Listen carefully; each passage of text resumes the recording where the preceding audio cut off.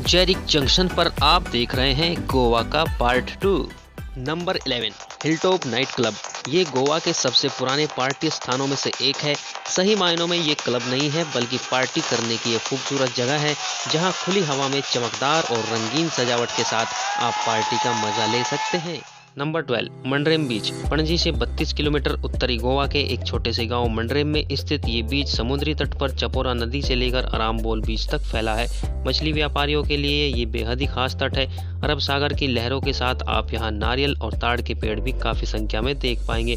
इस बीच पर योग सीखने और अभ्यास करने के लिए भी लोग आते हैं। नंबर 13 सिंक नाइट क्लब ये क्लब नाइट लाइफ में शुमार एक बेहद खूबसूरत क्लब है और ये शानदार डीजे साउंड को होस्ट करता है, जो म्यूज़िक के साथ साथ यहाँ के माहौल को मदमस्त कर देता है।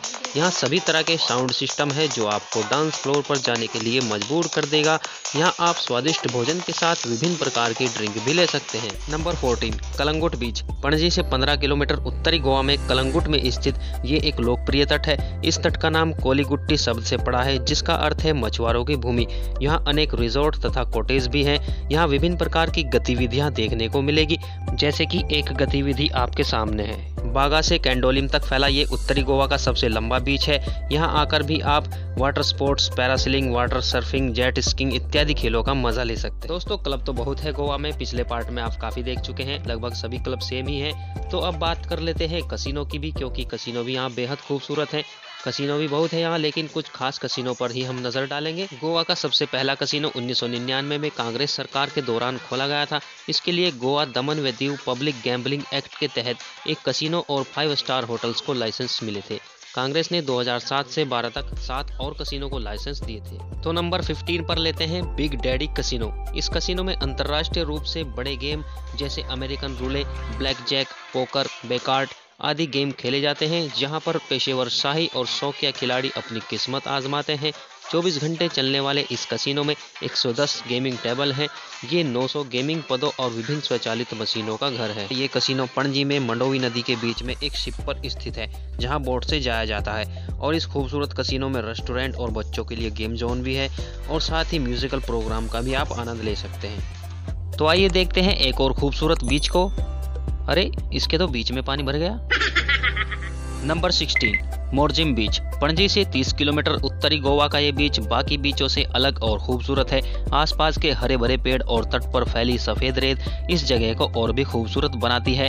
यहाँ विदेशी सैलानियों की भीड़ देखने को मिलती है, जो खास तौर पर स्विमिंग के लिए आते हैं। दोस्तों, समुद्र तट या बीच तो आप बहुत देख चुके, पिछले पार्ट में भी देखे हैं। गोवा का समुद्र तट एक सौ एक किलोमीटर लंबा है, जिसमें कुछ बीच शांत है और कुछ भीड़ भाड़ वाले हैं। कहीं कहीं पर कॉटेज भी हैं और कहीं विदेशी लोग कुछ सामान भी बेचते नज़र आएँगे। तो कहीं ठंडी बियर और खाना पीना है, कहीं पर समुद्री कछुए और डॉल्फिन मछली भी आपको देखने को मिलेगी।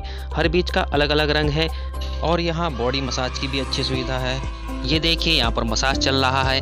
अरे, मसाज है या मज़ाक है? हटो, तुमसे नहीं होगा। ये देखो, ऐसे करो, ऐसे ऐसे ऐसे ऐसे, ठीक है? हाँ ऐसे ये देखिए, और देखिए, बहुत ही खूबसूरत बॉडी मसाज चल रहा है। ये देखिए, ओहो, हो ये क्या है? आटा गूंद रहे हो क्या? लगे रहो। काम तो बढ़िया है यार, मसाज करने का मज़ा आता होगा, है ना? ये लो और देखते रहो। कहीं मत जाइएगा दोस्तों। आगे और भी कुछ खूबसूरत जगह दिखाने वाला हूँ आपको।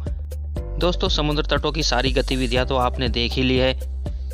लेकिन पणजी का एक बीच और दिखाऊँगा, जिसका रोचक तथ्य भी मैं आपको बताऊँगा। लेकिन उससे पहले देखते हैं एक और casino number 17 casino pride Panaji में मंडोवी नदी में एक शिप पर स्थित ये भी एक शानदार और खूबसूरत कसिनो है। यहाँ हाईटेक डिजिटल गेमिंग के साथ स्लॉट मशीन भी है। यहाँ सभी सुविधाओं के साथ आप डिलक्स कमरों में आराम कर सकते हैं। यहाँ तीन अलग अलग रेस्तरा और स्पाइस गार्डन भी है। दोस्तों कसिनो में भी यही सब है। एक से बढ़कर एक खूबसूरत कसिनो है यहाँ। जैसे casino pride two Deltin royal casino casino Deltin jack, casino carnival, casino palm, casino paradise इत्यादि कसिनो है यहाँ। तो चलिए एक और खास समुद्र तट आपको दिखा देता हूँ। Number 18 Dona Paula beach. Goa की राजधानी पणजी में स्थित इस जगह को प्रेमियों का स्वर्ग कहा जाता है और इसका नाम भारतीय वायसराय की बेटी डोना पौला डी मैनेजेस के नाम पर रखा गया था। जो कि एक स्थानीय मछुआरे से बेइंतहा मोहब्बत करती थी और उससे शादी न होने के कारण उसने अपनी जान दे दी थी। इसलिए इस बीच का नाम डोना पौला नाम रखा गया।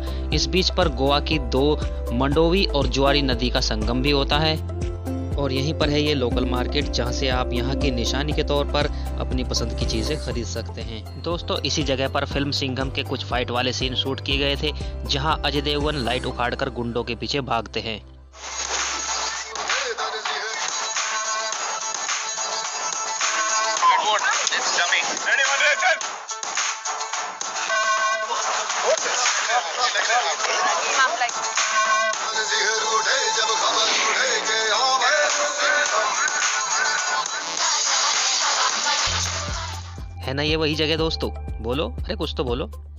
नंबर 19 मंडोवी और ज्वारी नदी। पणजी के एक साइड में समुद्र में गिरती हुई मंडोवी नदी को मांडवी, महादाई, महादेई या कुछ अन्य स्थानों पर गोमती नदी के नाम से भी जाना जाता है। कर्नाटक और गोवा से होकर बहने वाली इस नदी को गोवा राज्य की जीवन रेखा के रूप में वर्णित किया जाता है। पणजी के दूसरी साइड में है ज्वारी नदी। इन दोनों नदियों का एक ही मुहाना है, जो एक खूबसूरत नज़ारा है। और मंडोवी नदी का एक और खूबसूरत भाग आपको दिखाता हूँ। तो आइए चलते हैं उसी खूबसूरत जगह पर, नंबर ट्वेंटी, दूध सागर वाटरफॉल। ये पणजी से 70 किलोमीटर सोनोलिम में, मोलम नेशनल पार्क में मंडोवी नदी पर स्थित है। आप यहाँ हाइकिंग और ट्रैकिंग भी कर सकते हैं। यहाँ और भी मनमोहक नज़ारे हैं। यहाँ का खूबसूरत नज़ारा आपको रोमांचित कर देगा दोस्तों। आप यहाँ पर आएँगे और नहाएँगे तो आपको एक से बढ़कर एक खूबसूरती देखने को मिलेगी।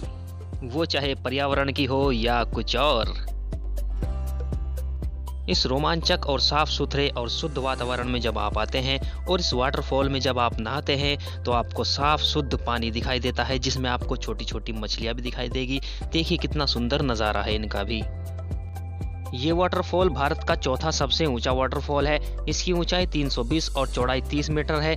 इस वाटरफॉल से गिरता पानी दूध जैसा सफ़ेद लगता है, इसीलिए इसे दूध सागर वाटरफॉल कहते हैं। दोस्तों, ये झरना कर्नाटक की सीमा पर है और यहाँ पहुँचने के लिए लगभग 10-12 किलोमीटर टैक्सी से साफ़ सुथरी नदियों और हरे भरे जंगलों से होकर जाना पड़ता है।